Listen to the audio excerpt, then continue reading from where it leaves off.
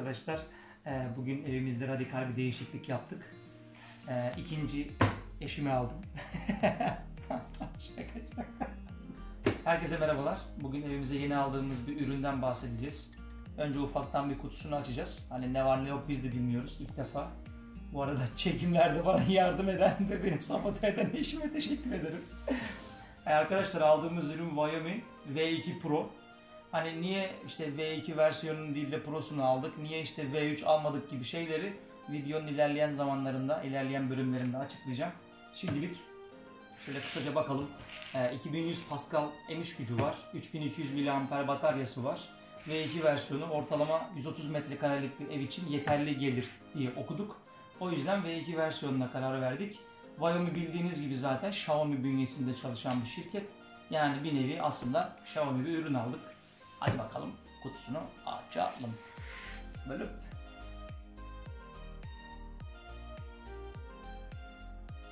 Şimdi ürünümüzü şöyle bir açalım. Doğru açmışızdır inşallah. Şu şekilde fantastik bir kapağı var. Buradan iki tane süpürme fırçası çıkıyor.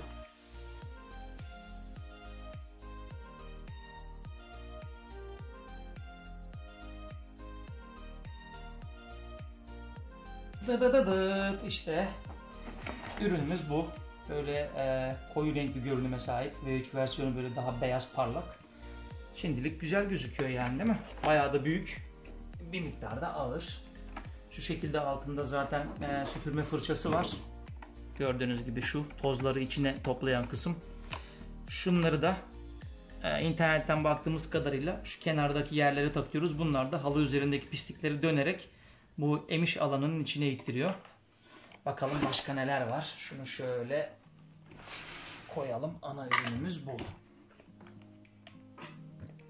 Başka ne var burada? Bunun içinde bir şey var mı? Evet var. Buradan daha sonra okuyacağımız kullanma kılavuzu çıktı. Şey gibi, yapboz gibi yapmışlar.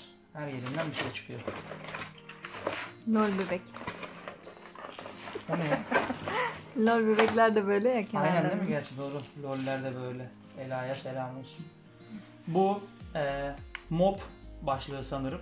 Aynen böyle suyu damlatıp da yerleri sildirmek için kullandığınızda bu mop başlığını kullanıyoruz. Onu da nasıl takacağımızı daha sonra bakarız. Bu da burada kalsın. Bunda herhangi bir şey yok. Burada sanırım şarj istasyonu var. Ağırlığından belli. Bir de herhalde ekstra parçalar. Hmm, şarj istasyonu. Küçükmüş değil mi? Evet. Güzel yani şöyle yanına koysak bak minik. Güzel. Diğerlerinde böyle ya da internette baktığım diğer ürünlerde daha büyük gözüküyordu.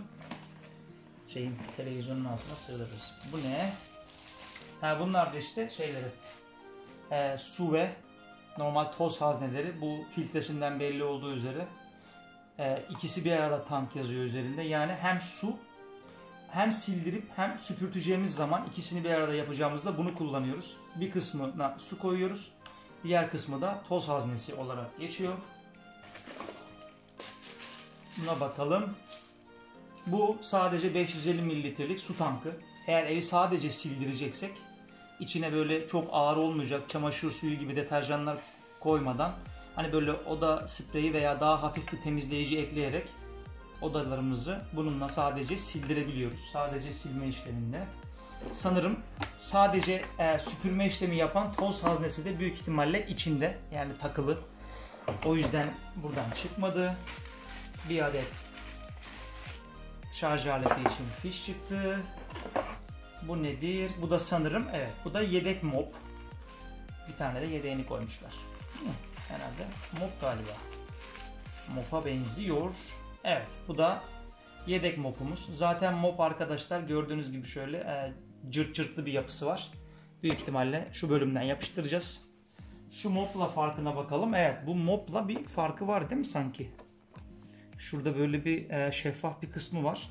Belki de hani başka bir amaç için de kullanılıyor olabilir ama şöyle baktığımız zaman mop yani yedek gibi duruyor değil mi? Yedek Evet, herhalde. evet, yedek yedek. diyelim yedek olsun. Ürünümüz bu. Şunları altına takacağız. Şimdilik biz bunu böyle bir bir araya getirelim. Bir takalım takıştıralım nasıl olacak bilmiyoruz. Çünkü biz de ilk defa bu ürünü deniyoruz. Ondan sonra devam ederiz. Arkadaşlar biz böyle bir ufaktan inceledik aleti. Neyi ne değildir falan diye. Ee, son derece kompakt bir yapısı var aslında ve her şeyi de kullanma kılavuzunda anlatmışlar. Yani kılavuz İngilizce ama resimli olduğu için çok da zorlanmıyoruz. Bu döner başlık bir tane takılıyormuş. Sanırım diğeri yedek geldi bize. Yani hani bir tek tarafa takılıyor. Bu tel fırça gibi zımbırtımız.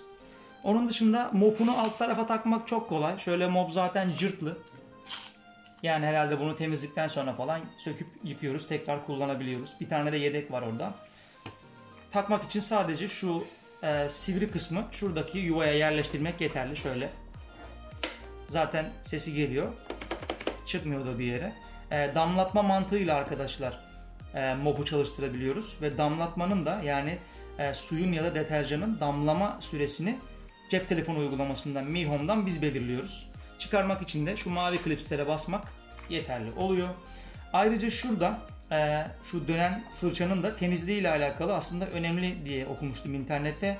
Bunu da açmak son derece kolay. Şu yuvayı çıkardıktan sonra şöyle e, size doğru bakacaksa eğer sağ tarafını önce yukarı kaldırıp çıkarıyorsunuz. Bunun e, üst taraftaki yuvasında bir adet e, nasıl diyeyim temizleme fırçası var. Videoyu ufak bir mola verdik kusura bakmayın. Bebek olunca evde ara ara mola vermek zorunda kalıyoruz. Evet şu alttaki e, taraklı kısımdan bahsediyordum. Şu büyük fırçanın olduğu bölümden. Bunu açmak son derece basit arkadaşlar. Şurada bakın iki tane mavi klips var. Zaten herhalde ürünün her yerinde e, açma kapama olan bir durum, bir bölüm olduğunda mutlaka şöyle mavi renkli klipslerle bunu belirgin bir hale getirmişler. Bu iki klipse basıp buranın kapağını açıyorum.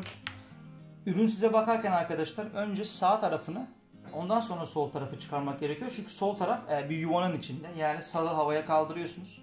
Sonra sağ tarafa doğru hafif çekince bu ürün çıkıyor. Bu tarağın temizliği ile alakalı az önce de belirtmiştim. Önemli şeyler hani okudum. Bu tarağın temizliği ne kadar iyi olursa e, makine o kadar güzel çekim gücü sergiliyor. Bunun için de zaten az sonra göstereceğim. Üstteki e, tank bölümünün içinde yani o haznelerin toz haznesinin olduğu bölümün içinde bir adet temizleme fırçası vermişler. Bir tarafı tarak, diğer tarafı ise bir kesici e, jilet benzeri bir alet var ki bu kılların arasındaki her türlü pisliği çıkarabilirim diye. Takarken de yine önce sol tarafı takıyorum. Sonra sağ tarafı bırakıyorum ve getirip kapağını taktığımda hazır oluyor. E, lastikleri yani şu tekerlekleri gördüğünüz gibi yaylı bastırdığınız zaman iç kısma doğru hareketleniyor. Sanırım bu sayede e, halı ve kilimlerin üzerine rahatlıkla çıkabiliyor. Zaten 2 santim yani 20 milim e, rampalardan yani halıların üzerine çıkabilme yüksekliği. Üzerinde bir laser sensörü var. Açma kapama şöyle göstereyim. E, sensör burada. Açma kapama ve e, eve dön tuşu var üzerinde. Herhangi bir temizlik esnasında işiniz bitti, yanınızda telefonunuz yok, komut gönderemiyorsanız üzerindeki ev tuşuna bastığınızda hop kendini direkt eve atıyor. Kenarlarında bakın şu şekilde e, sanki böyle çarpmayı azaltabilmek için böyle yaylı bir kısım yapılmış. Bu da güzel yani hani herhangi bir yere sürttüğünde falan rahatlıkla o sürtünmeyi ve çarpmayı emebilecek kabiliyette. Şurada açma kapama tuşunun üstünde bir tuş var. Ona bastığınız zaman arkadaşlar şöyle kapak açılıyor tırnağınızla hafif çektiğinizde. Toz haznesi bakın burada. Bu arkadaşlar sadece toz haznesi, sadece süpürme işleminde kullanıyoruz.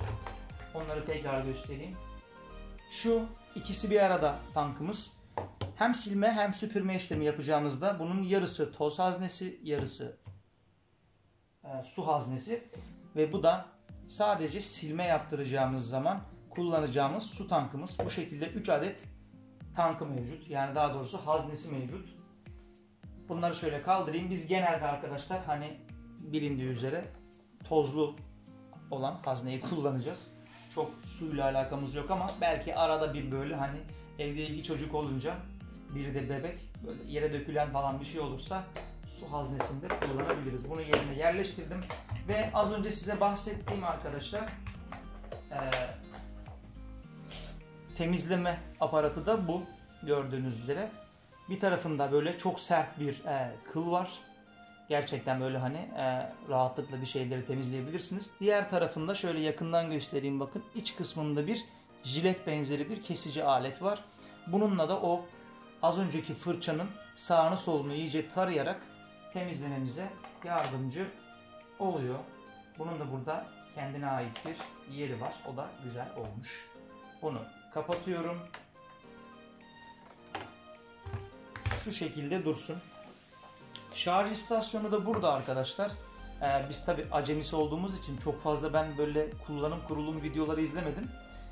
Şöyle göstereyim. Bir hayli zor açıldı ama e, çok hoşuma gitti.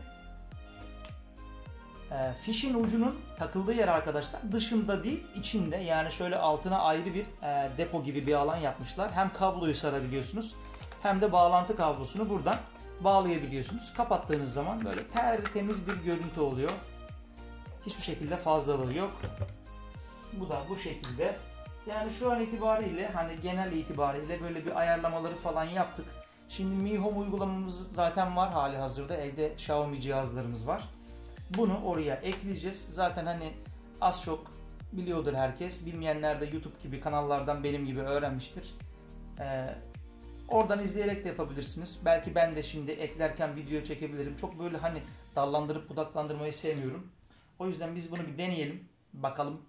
Ee, daha sonra uzun kullanım tecrübelerimizde inşallah